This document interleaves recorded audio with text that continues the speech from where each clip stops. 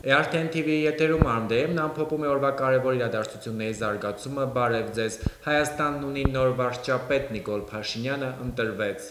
Հայաստանի երրորդ նախագահ Սերժ Սարգսյանի եւ Հանրապետական կուսակցության հետակա իշխանավորման դեմ պայքարը գլխավորող ազգային ժողովի ընդդիմադիր ելքխմբակցության ղեկավար Նիկոլ Փաշինյանը ընտրվեց Հայաստանի վարչապետ։ Այսօր ազգային ժողովի հատուկ նիստում Փաշինյանի օկտին քվյարկեց 59-ը, դեմ 42 падգամավոր։ Առաջադրված միակ տեխնացուն Նիկոլ Փաշինյանն էր։ Նրա սատարում էին ազգային ժողովի հայ հեղափոխական դաշնակցություն, ելք, ծառուկյան դաշինք խմբակցությունները, խորհրդարանական մեծամասնությունը, հանրապետական խմբակ խմբակցությունը որոշել էր օժանդակել Փաշինյանի ընտրությանը։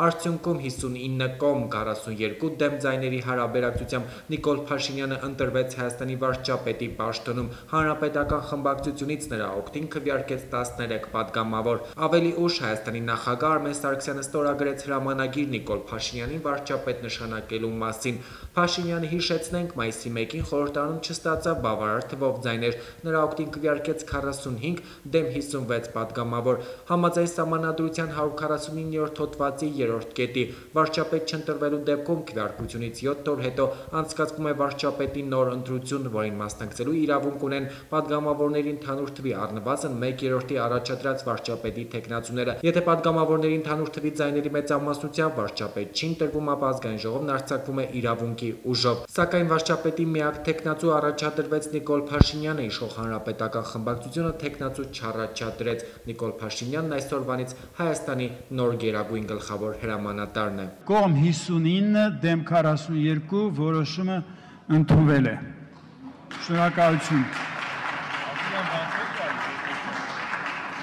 Չճտի։ Դու չուս։